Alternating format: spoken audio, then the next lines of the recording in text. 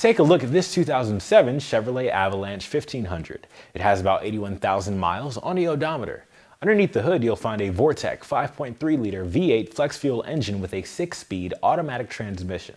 There is a navigation system, an auto-ride suspension package, and a heavy-duty trailering package. An 8-speaker sound system, Sirius XM Ready Radio, and AM FM radio is going to be great for that unlimited entertainment you've been searching for. There are heated seats, a sunroof above, four-wheel drive, and remote start.